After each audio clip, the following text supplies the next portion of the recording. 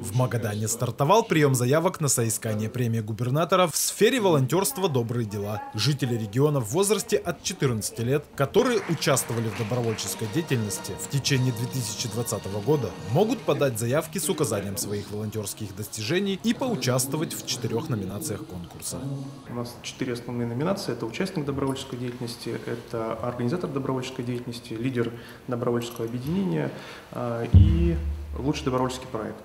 То есть вот авторы проектов, а также те люди, которые активно принимали участие в добровольческой деятельности в течение года, могут подать заявку, продемонстрировать свои э, достижения, свои, э, показать свои дела добрые, которые они делали в течение года, э, последних двух лет.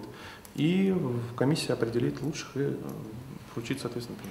Для участия в конкурсе на премию губернатора в сфере добровольческих дел необходимо подать заявку на сайте АИС «Молодежь России» до 1 ноября 2020 года. Победители конкурса наградят во Всероссийский день добровольца 5 декабря текущего года. Подробную информацию можно узнать по телефону 62 50 12.